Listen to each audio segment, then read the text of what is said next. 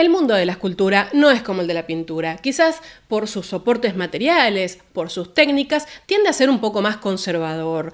Aún así, cada tanto la historia del arte nos regala unos exponentes que solo nos queda rendirnos a sus pies, porque proponen grandes saltos estéticos y conceptuales en este ámbito, desde el Renacimiento al Barroco. Tres grandes escultores, tres, Donatello, Miguel Ángel y Bernini panzada de David hoy.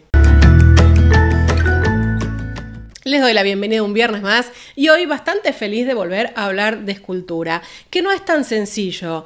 Em, Saben, cuando uno tiene que encarar hablar de, de, una pieza en concreto, por ejemplo, hoy que vamos a hablar bastante de esculturas que se pueden ver de distintos ángulos, la dificultad de conseguir fotografías acordes tiene que haber un gran fotógrafo para que uno pueda tratar de dar cuenta de lo que implica una escultura. Y más aún cuando vamos a hablar de tres grandes maestros. Y ya que dije tres grandes maestros, ¿a qué viene la entrada de hoy?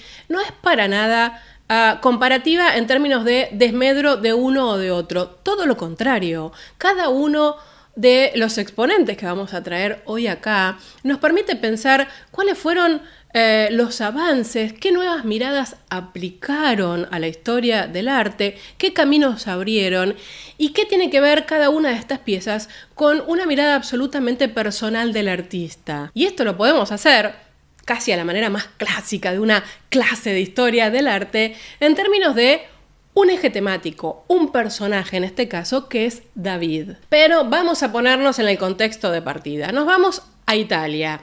Clarísimo. Y nos vamos al 480. Este movimiento artístico llamado Renacimiento, así incipiente, en el que pasan cosas muy importantes, sobre todo si nos vamos a la zona de la Toscana, a Florencia. Se empieza a recuperar el mundo antiguo, ese mundo grecorromano, que había sido dejado un poco de lado en los periodos del arte y de la historia anteriores porque no era ese el foco. Había toda una predominancia de la mirada cristiana en donde el arte era una excusa para, bueno, poder transmitir conceptos religiosos. ¿Esto dejó de ser así? No, por supuesto que no, pero se incorporan nuevas variables. El mundo grecorromano nos permite pensar en el hombre, en el ser humano, porque claro, ya saben, descubrimiento de América, ta, ta, ta, las ciencias, el ser humano empieza a ser el centro de todo. Pasamos del teocentrismo al antropocentrismo. ¿Y qué pasa en la zona de la Toscana en concreto?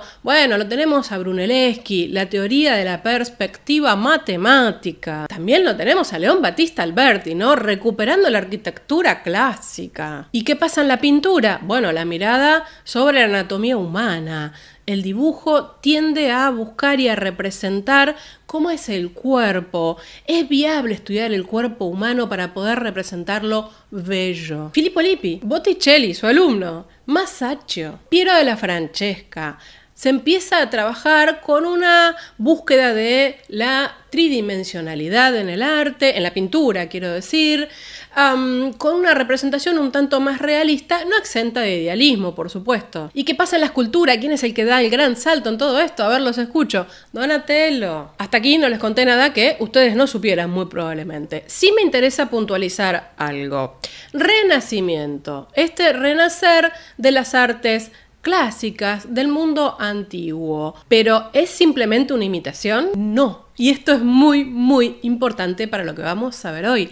El Renacimiento es una reinterpretación. Vale decir, Conozco el mundo grecorromano, conozco sus técnicas, recreo sus técnicas, lo tomo de modelo, pero le pongo mi propia impronta. El modelo grecorromano me va a servir para pensar, para reflexionar, para recrear. Y que se recupera muy fuertemente una iconografía que había sido bastante dejado de lado en los periodos de la historia del arte anteriores, ¿no? Desde el, desde el momento paleocristiano, para decirlo de alguna manera, hasta el gótico. Y esto nos lleva a la recuperación de la figura del hombre. Y cuando hablamos del hombre, hablamos del desnudo masculino. Algo impensado mm, un siglo antes. Entonces, antes de entrar a las horas, voy a tomar un minuto para hablar del canon. Y ya les anticipo al final, y es que este canon va a ser justamente reinterpretado todo el tiempo a partir del Renacimiento.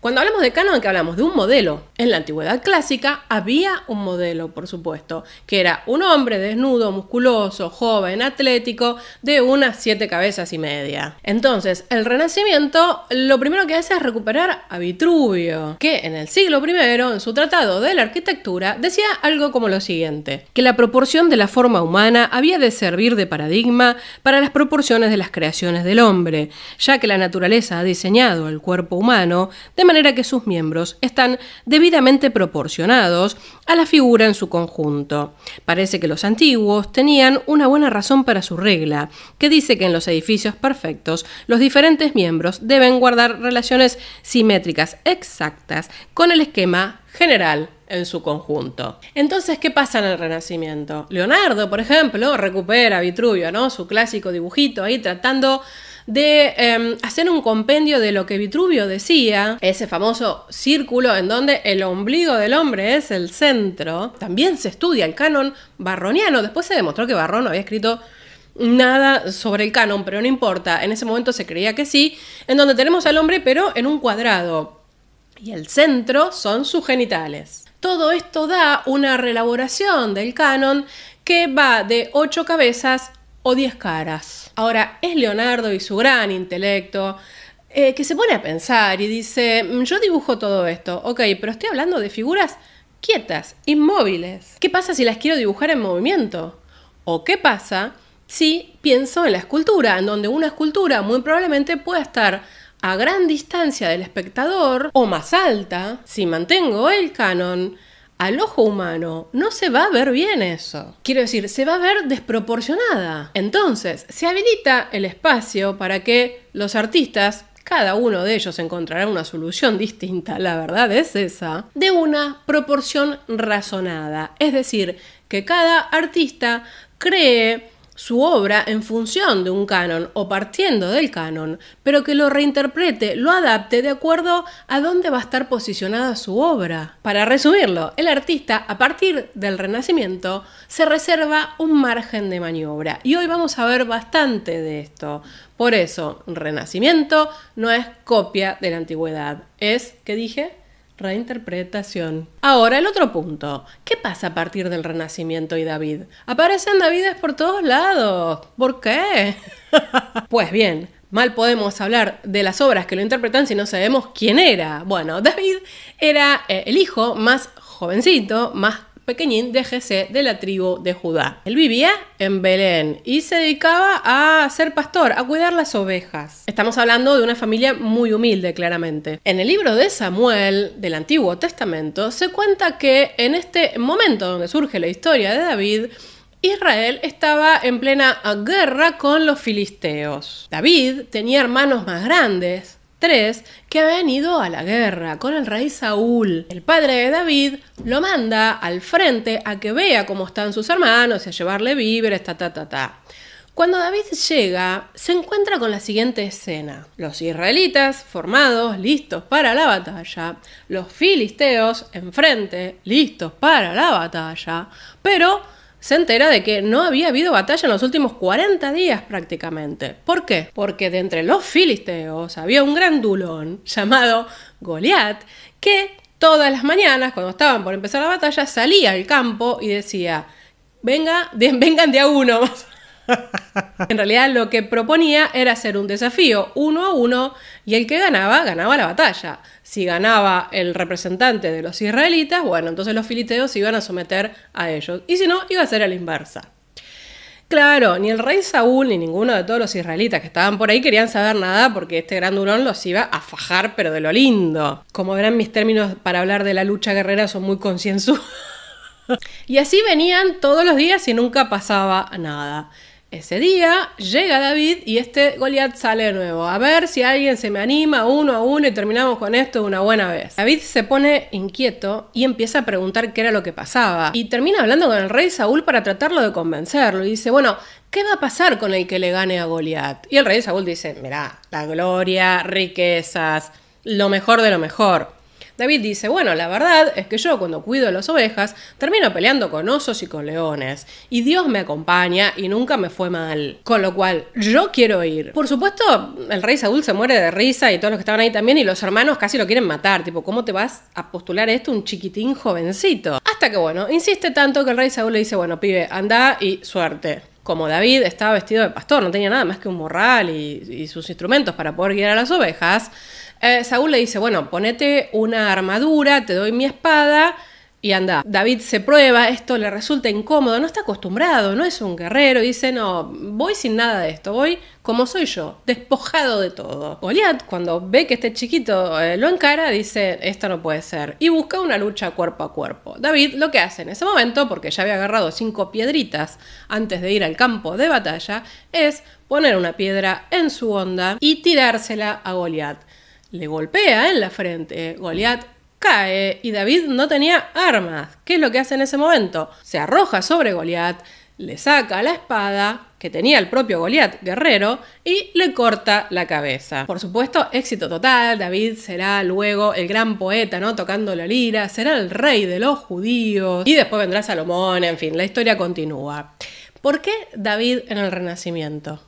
Bueno, hay una doble explicación. Primero, hay una justificación muy válida para los artistas dentro de esa sociedad y es que estamos hablando de una historia religiosa. Por otro lado, hay una justificación artística. La historia de este David despojado que va a luchar contra Goliat le permite al artista recrear el modelo del desnudo más dentro de una moral judeocristiana. Entonces, dentro de todas estas corrientes neoplatónicas que se dan en ese momento, David pasa a representar al héroe clásico. Y la forma clásica en Grecia de representar a un héroe o a un dios en su perfección era desnudo. Esta fue la gran, grandísima excusa que tienen los artistas para decir, vamos, ¿Cómo vamos a representar a David si no es como un héroe? Y por tanto, el desafío de conocer, de recrear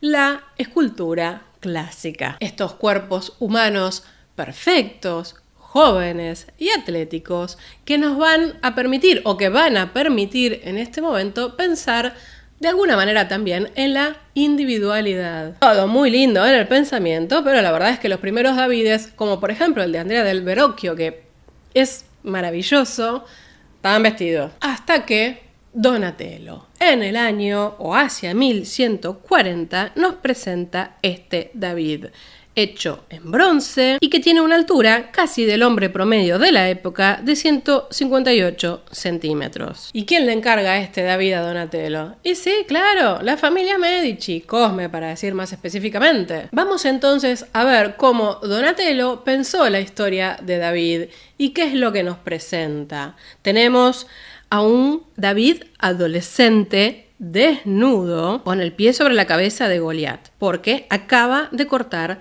su cabeza con la propia espada de su enemigo, que de hecho David todavía la tiene en la mano derecha. En la otra mano, ¿qué sostiene? La piedra con la que hirió a Goliat. Este David tiene una expresión contenida, serena, más allá de su desnudez, tiene un sombrero con hojas de amaranto, ¿no? La alusión al heroísmo griego y también calza botas. La cabeza de Goliat con toda su barba y demás tiene puesto un yelmo, un casco, que está decorado con una serie de relieves que cuentan historias y también tiene adornos vegetales y demás, bastante típico del momento renacentista, del primer renacimiento. ¿Qué tiene esto de antigüedad clásica? Bueno, si vemos este David, vemos que tiene una curva praxiteliana. Su cuerpo se apoya sobre la pierna derecha, por lo tanto rompe completamente la frontalidad y nos presenta un cuerpo en contraposto. Esta es la pierna de David, de este David adolescente, que es la que soporta el cuerpo, mientras que la izquierda descansa sobre la cabeza del gigante. Vean ustedes como el brazo izquierdo hace un ángulo eh, porque está apoyado sobre la cadera y compensa la postura de la otra pierna. La propuesta de Donatello acá es interesante porque es una escultura completamente cerrada sobre sí misma. No hay nada que indique que hay un espectador ahí mirando lo que está pasando. Volviendo sobre este desnudo, bastante atrevido diría yo para el momento, el hecho de estar hecho en bronce jugando ¿no? con la inclinación de las caderas, como, como ya lo dijimos, le imprime movimiento, pero también le imprime mucha sensualidad a la anatomía de este pastorcito. Toda esa superficie pulida, oscura, realza un cuerpo muy, muy juvenil, casi andrógino diría, ¿no? Sin embargo, este jovencito que uno vería débil, bueno, tiene una espada, una piedra y una postura tan relajada, tan satisfecha, que nos habla de un chico valiente. Hay una búsqueda muy fuerte de la armonía, de la proporción en esta obra, Incluso lo podemos ver en el rostro de David, un rostro bastante clásico, unas proporciones muy bellas, facciones suaves, bien definidas, la mirada hacia abajo con una casi leve, muy leve diría yo, sonrisa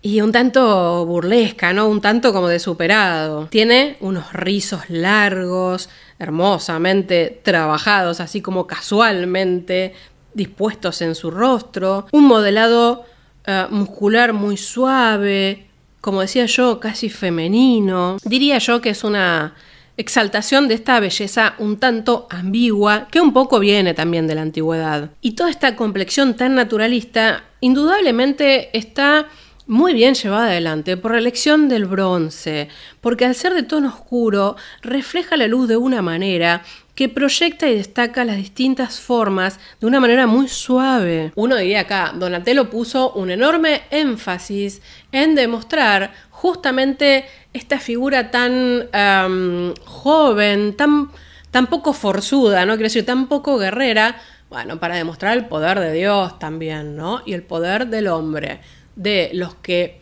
eh, menos tienen o de los más desvalidos versus los que tienen supuestamente todo el poder y la fuerza. Ahora, ¿cuál es el aporte de Donatello a través de este David? ¿Por qué lo trajimos acá? Luego de la antigüedad clásica, estamos hablando de más de 1500 años atrás de que se hiciera esta obra, este es el primer desnudo masculino completamente despojado. Quiero decir, es un desnudo integral que en realidad no era necesario. Es la primera vez que un escultor se atreve a representar un cuerpo completamente desnudo desde la antigüedad greco-romana. Por tanto, el David de Donatello es una de las obras más relevantes del primer renacimiento. Es el que abre el camino. Y de hecho, cuando uno observa esta pieza, ve qué es lo que le importa a Donatello. La historia bíblica era una excusa. Su mente, su práctica, sus ganas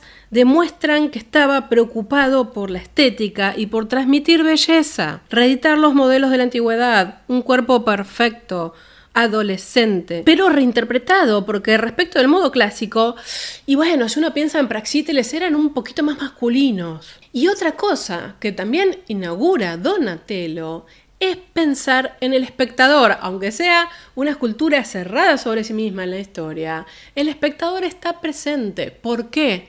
Porque despoja del muro a la estatua, que era lo que venía siendo básicamente durante el gótico, podemos decir, y la hace una estatua de bulto, una estatua pensada en 360 grados, para que pueda ser mirada y disfrutada desde distintos ángulos. Y cada uno de sus ángulos tiene que proponer al espectador una mirada atractiva, una mirada perfecta. A partir de entonces, la escultura ya no necesita necesariamente tener el soporte del muro. Aún así, y respecto de las esculturas de bulto, después lo voy a problematizar un poco porque hay vistas privilegiadas. Por otro lado, ¿qué simboliza este David? ¿Cuál es la propuesta de este David? Dijimos que es un héroe atlético en su valor individual, pero en el Renacimiento, ya no nos alcanza eso. Las esculturas son portadoras de otros mensajes. Pistas, pistas que un espectador del momento las entendía claramente. Pero vamos a empezar por lo básico. ¿Qué es lo que nos dice que este personaje de ahí es David. ¿Por qué es David? Bueno, tiene una piedra en la mano, tal como cuenta la historia, y además está pisando la cabeza de Goliat y tiene, ¿no?, la espada de Goliat en la mano. Hasta ahí está claro. Ahora, esto fue encargado por Cosme de Medici, Florencia. Y resulta que David tiene puesto un gorro típicamente florentino del momento. Entonces, David es una alegoría de Florencia. ¿Y por qué necesitamos una alegoría de Florencia? Del más débil ganando al más fuerte. Porque Florencia estaba en sus eternas guerras con Milán. El casco de Goliat es un casco típico milanés. Entonces estaríamos conmemorando a través de este David las victorias de Florencia sobre Milán. Y además la inscripción dice lo siguiente si miramos la espada. A los que valientemente lucharon por la madre patria, los dioses darán su ayuda incluso ante los más terribles enemigos. Sí, el cuerpo de este jovencito David no representa solamente un tema religioso, sino que también mitológico y social. Es el coraje derrotando a la fuerza. Donatello, el florentino Donatello, es un personaje crucial en este momento del Renacimiento. Él se forma con Ghiberti y es discípulo de Brunelleschi y hace algo mucho más de todo lo que estuvimos viendo hasta ahora. Recupera la técnica del bronce que se había perdido. Piensen en la estatua del condottiero Gata Melata, vaciado en bronce. ¿Por qué se perdió esta técnica y cómo es esta técnica? Es una historia muy interesante que si les gustaría me lo hacen saber en los comentarios y podemos hacer una entrada especial para eso. Pero lo importante de esto es que recupera Donatello del clasicismo y también cómo él empieza a alejarse, empieza con sus propias búsquedas estéticas. Más de 50 años después tendremos ante nosotros la siguiente obra de la que vamos a hablar. Y estamos hablando del David de Miguel Ángel. Es mucho más grande, ya vamos a ver los datos, y es la interpretación que hace un Miguel Ángel, ¿no? Que empieza a abrir paso al manierismo sobre la historia de David y Goliat. Estamos hablando de una obra hecha en mármol que tiene 515 centímetros de alto. Sí, más de 5 metros. Y fue pedida por la ópera del Duomo de la Catedral de Santa María del Fiore, que finalmente no terminó puesto ahí, sino en, em, en la plaza. Después vamos a hablar un poquito de esto. Miguel Ángel, como todos los escultores de esa época, tiene una formación clásica. Quiero decir, conoce el canon de ocho cabezas, de diez caras, ta, ta, ta, ta, ta, admira y ve y observa a Donatello, pero Miguel Ángel es Miguel Ángel. Y gracias a que era así realmente. Saben ustedes que Miguel Ángel, esto lo hablamos cuando hablamos de los trucos de Miguel Ángel, em, que les voy a dejar por aquí el video, él creía que tenía que liberar a las figuras del mármol, ¿no? Miguel Ángel siempre trabajó preponderantemente el mármol. Él esculpía de un solo bloque lo que daba el mármol. Y en este caso, además, fue un reto, porque este enorme bloque de mármol había sido abandonado, lo habían tratado de esculpir dos o tres escultores de primera línea, se les había roto, no iba, algo no pasaba. Y él lo tomó como un desafío. De hecho, cuando él va a ver este bloque, ya en ese momento los canteros le decían el gigante, como diciendo, este bloque no le entra a nadie. Y él estuvo ahí, ¿eh? sus cuatro o cinco años. Pero Miguel Ángel siempre hablaba, ¿no? De esa relación íntima que establecía él con el bloque de piedra, con el bloque de mármol. Como si el bloque le abrara y le dijera, contengo esto, quiero que me liberen. Esto es algo bastante interesante que vamos a em, comparar y, desarrollar un poquito después cuando hayamos terminado de ver todas las obras. Pero vamos a este David, en la versión de Miguel Ángel. Goliat no aparece, con lo cual todos entendemos que todavía no sucedió la acción, no está vencido como en el caso de Donatello. El cuerpo de David es el de un hombre, claro, mucho más musculoso, una anatomía bastante más marcada, madura y fuerte, eh, también tomada del modelo clásico, más parecida en ese sentido, no tan lábil como la de Donatello, pero claro, Miguel Ángel imprime a esto una atención y una preparación para el combate que era impensable en una escultura clásica griega. Por supuesto usa el contraposto clásico, la pierna izquierda se adelanta a la derecha, el brazo izquierdo se eleva y se curva, hasta que la mano no está tocando el hombro. Y el brazo derecho es muy interesante, porque parece como caído, como abandonado sobre eh, su pierna, sobre su muslo, pero no. Vean ustedes eh, esa mano que toma una piedra fuerte, marcada. La cabeza mira hacia la izquierda y tiene los ojos fijos, ¿no? En su objetivo, en su enemigo, porque todos sabemos y podemos intuir que está Goliat enfrente. Ceño fruncido, expresiva esa cara, concentrada. Vean ustedes cómo la cabeza está hacia un lado, pero tenemos la tensión del cuerpo que está hacia el otro. Mirar la expresión del rostro de este David es una de las mejores cosas que les puede pasar. Miren ustedes esa tensión contenida, esa concentración. No es el David de Donatello que ya estaba relajado, ya había pasado todo. Hasta parece que está respirando con intensidad este David de Miguel Ángel. Esa terribilidad que decían que transmitía, ¿no? Y un movimiento contenido. Está quieto ese David. Todos sabemos que todavía no pasa nada. Es el momento de la tensión en la que está tomando la decisión de atacar. Dijimos, partimos de una inspiración clásica. Sí, pero Miguel Ángel, atento a dónde iba a estar él, supuestamente, esta em, escultura, y de acuerdo a lo que daba el único bloque de mármol, reinterpreta ese canon. Tenemos las piernas un poquito más alargadas, tenemos las manos un poco más grandes que eh, uno entiende que lo desarrolló así para que nos llame la atención, para que miremos justamente los gestos de las dos manos. Se empieza a apartar del mundo clásico cuando ya no nos presenta una belleza serena, delicada y contenida, sino más bien tensión, concentración. El David de Miguel Ángel está pensando, todos sabemos que está pensando, son las manos las que nos indican que va a haber una acción. Miren ustedes el gran detallismo además que pone, ¿no? Los músculos, las venas, las uñas. También notemos el basamento, que es algo sobre lo que voy a volver cuando hablemos de Bernini. Hay un terreno apenas esbozado, pero está en un lugar este David. Algo que tenemos que mencionar de Miguel Ángel y su técnica de trabajo. Miguel Ángel hizo algunos bocetos en dibujo, pero no hizo lo que hacían todos los escultores de la época y más con obras tan grandes que es hacer un molde de yeso en tamaño real. Miguel Ángel diseñó, marcó el mármol y fue a él a tallarlo directamente. No se conserva de Miguel Ángel nada que tenga que ver con eh, bocetos a escala real en yeso. Y ahora le vamos a hacer a Miguel Ángel la misma pregunta que le hicimos a Donatello. ¿Por qué es David esta figura? Bueno, difícil. La mayoría de las representaciones, tanto de escultura como en pintura, David estaba con la cabeza de Goliat, David está triunfante. Es más, solían representar los artistas a David como si fuera casi un niñito, cosa de que sea más dramática, ¿no? La cabeza de Goliat versus el cuerpo de David. Bueno, Miguel Ángel siempre está en otro plano. Miguel Ángel nos obliga a pensar, nos obliga a reflexionar y nos obliga a conocer. No es fácil, no es a simple vista. Vemos que su mano está cerrada y tiene una piedra. Y también vemos que la mano que está hacia atrás está sosteniendo la onda con la que va a lanzar la piedra. Pero eso nos damos cuenta, si lo vemos de costado o si lo vemos de atrás, de frente, prácticamente no hay pistas. Y el segundo punto, ¿qué simbología? ¿Qué es lo que piensa el artista sobre David?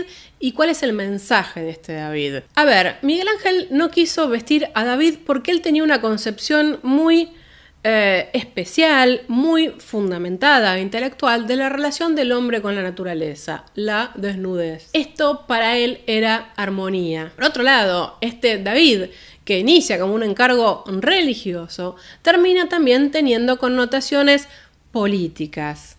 Será Soderini, luego de la expulsión de los Medici, quien pida ¿no? ponerlo ahí en la piazza de la señoría, reivindicando la lucha de David contra Goliat. Goliat, en este caso, serían los Medici, serían los ejércitos papales, todos aquellos que querían dominar a Florencia, que querían em, tener un poder total sobre Florencia. David es el triunfo de la República Florentina. Aún así, no podemos no pensar que el hecho de que Miguel Ángel eligiera este momento previo a la acción, ese momento de reflexión, de pensamiento, en el que quizás puede haber duda también, habla de una Florencia también, ¿no? Constantemente atacada y que estaba pasando por momentos de mucha incertidumbre. ¿Qué es lo que aporta Miguel Ángel? Un corrimiento hacia un pensamiento mucho más sofisticado, mucho más manierista, en donde uno tiene que ah, ser muy culto para entender estos mensajes. Lo que hace Miguel Ángel es subjetivar la obra de arte, darle su impronta en términos reflexivos e intelectuales. De ahí esta idea, ¿no? Del manierismo, a la maniera de Miguel Ángel. Ahora, quiero citar a Vasari hablando de Miguel Ángel y de este David. Cualquiera que haya visto al David no tiene necesidad de ver otra cosa de ningún otro escultor vivo o muerto. Claro, Vasari no conoció a Gian Lorenzo Bernini. Nos vamos al barroco, nos vamos a un mundo, a un planeta Tierra que se mueve y que entiende su posición en el universo. Nos vamos a hablar de el gran Gian Lorenzo Bernini y la escultura barroca. Nos vamos a un David esculpido en mármol que tiene 170 centímetros, un metro 70 de alto, encargado por el principal mecenas de Gian Lorenzo Bernini, el cardenal Scipione Borghese. Hoy por hoy está en unos lugares más maravillosos del mundo, diría yo, que son las galerías Borghese. ¿Y qué piensa Bernini de toda esta historia? Bueno, ya sabemos, es un tema religioso, pero Bernini dice, yo acá puedo rescatar a los jóvenes atletas griegos. Tenemos un David que está vestido como un pastor, no tenemos a Goliat nuevamente, Goliat es una presencia, como en el caso de Miguel Ángel, pero el cuerpo se muestra en el instante en que se dispone a tirar la piedra. Los dos pies apoyados, el cuerpo medio girado. La figura está en movimiento tiene toda la potencia de la tensión que se está descargando. La cara, concentración pura, haciendo fuerza, el ceño fruncido, incluso se muerde el labio inferior. Todo esto propone un movimiento que yo ya no, no, es serpentino, es helicoidal directamente. Por supuesto el cuerpo está dispuesto en diagonal, pero está completamente girado. Incluso cuando uno ve las piernas, vemos que el pie izquierdo apoya solo una punta, dando esa cierta sensación de inestabilidad. Barroco, mucho barroco. el cuerpo arqueado, girado, los brazos dispuestos, toda la tensión en la cuerda de la onda. Bueno, está actuando, se está moviendo. Estamos viendo una instantánea en movimiento. Aprovechen la hora porque dentro de dos segundos David ya va a haber arrojado la piedra. es una obra sumergida en el tiempo. Uno sabe qué es lo que pasó antes. David decidió y preparó su onda. Y uno sabe lo que va a pasar después. David va a lanzar esa piedra y va a matar a Goliat ese rostro, la tensión del rostro, no es porque está pensando, es porque está actuando, está haciendo fuerza, la fuerza del lanzamiento olímpico. El rostro, bueno, hay un corrimiento, ¿no? Qué, poco griego ese perfil, qué romano ese perfil. Podría ser un romano común y corriente de la época de Bernini, podría ser hasta el mismo Gian Lorenzo. Esa nariz, poco clásica, muy realista. Todo lo que pasa acá es movimiento y realismo, como digo yo, es un fulano de cualquier calle de Roma. Este David no es un guerrero perfecto, no es un guerrero idealizado, es un humano que se está esforzando para lograr su objetivo y además para evitar que lo maten. La recurrencia, además en estos tres casos, una escultura exenta de bulto para ser recorrida y vista de todos los ángulos. Sin embargo, aquí es mucho más claro que hay una vista privilegiada, que es la vista de frente. No es que cualquier em, ángulo da igual en este caso. De hecho, mm, se cree que Bernini, muy probablemente pensando en cuál iba a ser la localización de la obra, em, no terminó del todo la parte de atrás. Con lo cual, algunos dicen, qué bueno que en la ubicación actual en las Borghese uno la pueda recorrer de todos lados. Sí, qué bueno para uno que le gusta saber cómo trabajaban los escultores y un montón de cosas. Yo no sé si Bernini pensaría lo mismo, ¿eh? Él diría, no, no, querido, eso va ahí contra, no sé, la pared. ¿Qué es lo que encontramos acá? Que el barroco trae formas clásicas, mira Miguel Ángel, mira Donatello también, cosas del Renacimiento, pero se corre, se corre y dice, esto tiene que ser más realista, esto tiene que ser más cercano. Hay un espectador que necesita identificarse. Quiero decir, pensemos, ¿no? Todas las formas distintas de tener en cuenta al espectador. Usa la tensión, usa el escorzo, pero para ponerle movimiento. Además, Bernini su calidad táctil, ¿no? Parece que hay, que hay carne ahí, que hay Y para lograr esto, sin duda, tiene que haber un gran conocimiento de la anatomía, tanto masculina como femenina. El moldeado del mármol, ¿no? Parece que fuera plastilina como juega Bernini, con una superficie tan dura. Por algo, Scipione Borghese dirá de Bernini, será el Miguel Ángel de nuestra época. Y vamos de nuevo, ¿cómo sabemos que es David? Bueno, Bernini nos cuenta todo. Un gran lector Bernini tiene la onda, tiene el morral del pastor, tiene la armadura a los pies, esa armadura que rechazó del rey Saúl porque le resultaba incómoda, pesada, calurosa, etcétera, etcétera. ¿Se acuerdan, no? Que el rey le ofrece sus armas y David las rechaza. Además, a los pies tiene una arpa hermosamente tallada que indica que David se va a convertir en el rey de Israel, en el poeta, en el poeta de los salmos, lo cual nos da la pauta del David, futuro rey y victorioso. Y bueno, está por supuesto la cabeza del águila que remite a la familia Borghese, que fueron los que lo encargaron. ¿Qué significa este David? Tenemos un mensaje claro de la conversión, ¿no? Del débil, del pastorcito, del humilde, en alguien que va a ser poderoso, que va a ser trascendente. Ese con el que cualquier hombre real, común y corriente se puede identificar, porque lo que hace grande a David y a cualquier persona son sus valores, son sus ideas. Por otro lado, estamos en el momento de la contrarreforma católica. Tenemos que llegar al fiel, tenemos que persuadir al fiel de que sienta los valores, los esfuerzos, de las historias bíblicas, de los grandes personajes que son el modelo. Pero también hay algo que va más allá de esto. Nadie niega que en el barroco, por supuesto, hay un sustento religioso, un sustento ideológico que implica llegar de una manera distinta a el fiel, a la sociedad. Sin embargo, Argan esto lo complejiza, ¿no? Cuando habla de eh, la retórica y el arte barroco. Él dice que el arte barroco es eh, retórico porque busca la persuasión en sí, más allá de cualquier motivo. Y de hecho lo voy a citar porque me parece esto clave para el barroco, así como dimos la clave del renacimiento. No me parece demasiado arriesgado suponer que el arte como persuasión, o más aún como comunicación y relación, no dependa tanto del tipo de las grandes ideologías religiosas, como del nuevo modo de vida social y principalmente de la afirmación de las burguesías europeas en el cuadro de los grandes estados monárquicos. En este caso, es cierto que es justamente el arte barroco quien por primera vez tiene en cuenta lo que en la retórica es definido como la diversa suerte de los estados y, como es propio de la oración, se dirige tanto a las clases más cultas como a las más humildes, sin por eso descender el tono. Es decir, es un ante que apunta en todas las direcciones. Y además, en el caso de Bernini, es un arte muy conectado con la pintura. Algo que no pasa en los pasos anteriores. Sabemos que Miguel Ángel la pintura mm, lo hizo, pero rayitos. Bernini le gusta trabajar este mármol blanco en sus luces y en sus sombras, en la búsqueda del efecto. Y ahora, para ir cerrando, vamos a ir haciendo una pequeña puntuación de algunos aspectos que me parecen claves de este recorrido.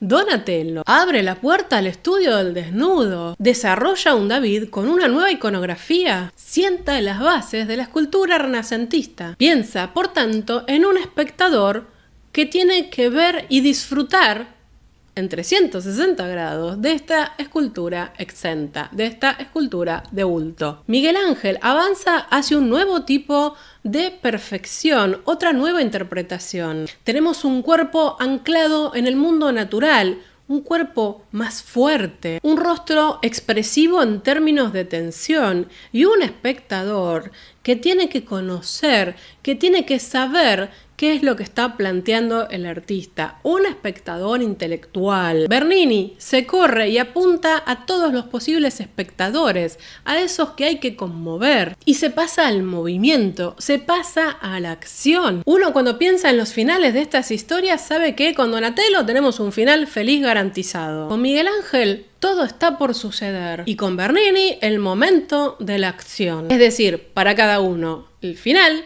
el antes y el durante, de la placidez y tranquilidad a la tensión y finalmente a la acción. Todo esto nos permite también pensar en la enorme exquisitez iconográfica que tiene Miguel Ángel. No nos regala nada. No nos pone mucha cosa ahí de donde agarrarnos. Y por supuesto, tenemos aquí tres maneras diferentes de reinterpretar, de resignificar y de adaptar el canon, de acuerdo a cada momento cultural, a cada momento social.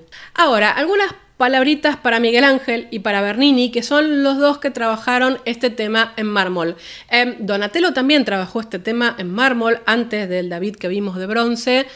Pero no es muy equiparable porque todavía tiene muchas reminiscencias góticas y el gran salto lo dio con este David del que hablamos. Por supuesto, Miguel Ángel y Bernini siempre nos sirven para pensar este tránsito, ¿no? ¿Qué significa la escultura más renacentista o mañerista y qué significa la escultura barroca. De un lado tenemos una escultura estática, contenida, está el pensamiento y una belleza idealizada, propia del Renacimiento, aunque ya sabemos con sus reinterpretaciones. Por otro lado, Bernini inmortaliza el momento de la acción, donde está pasando la cosa. Es más realista y el personaje es mucho más cercano, no tan idealizado, casi diría poco idealizado en este caso. ¿eh? El héroe del Renacimiento es un hombre tranquilo, confiado, pensante, Mientras que en el barroco tenemos un hombre focalizado tratando de que no se lo lleven puesto, para decirlo elegantemente.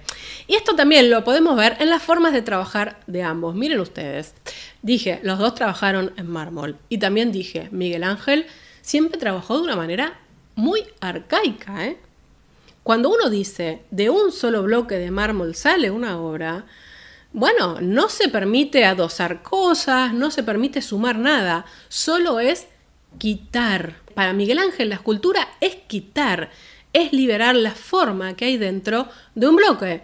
Exactamente como se hacía en Egipto. Digo, si hablamos de Egipto, tallar la piedra, pero no importa. En este caso, el mármol quitar, quitar, quitar hasta que aparezca la forma. Y Bernini en ese sentido tiene una forma de trabajar completamente distinta, mucho más, si se quiere, griega, helenística, que es por ensamblado. Él trabaja por partes y las va uniendo, por supuesto, de una manera más que inteligente. No se crean que a simple vista se pueden ver las uniones ni por casualidad. Esto le permite otro tipo de modelado, otro tipo de movimiento que es imposible lograr con un solo bloque. Bueno, no sé si es imposible, pero es muy difícil. Mucha más soltura, mucho más aire, porque al ensamblar piezas hay aire, ¿Qué era lo que pasaba en la escultura griega, porque em, casi todo lo que nos llega del periodo greco-romano eh, suelen ser esculturas que están, ¿no? Les falta algún miembro, le faltan los brazos, le falta una pierna. Bueno, porque eran miembros adosados, se iban sumando. Lo que para Miguel Ángel es quitar, para Bernini es sumar. De hecho, llegan al día de hoy muchos eh, trabajos bocetados de Bernini en arcilla, en yeso, algo que Miguel Ángel no hacía. Por eso los dos logran tipos de volúmenes y expresiones totalmente distintas. Para poder resumir un poco todo este camino que hicimos hoy, quiero citarles algo. El renacimiento es el surgimiento del individualismo, el despertar de una búsqueda insistente en pos de la belleza, la marcha triunfal del placer mundano y de la felicidad vital la conquista de la realidad terrenal por el espíritu, la renovación de los placeres paganos de la vida, la toma de conciencia de la personalidad en su relación natural con el universo, dice Wisinga.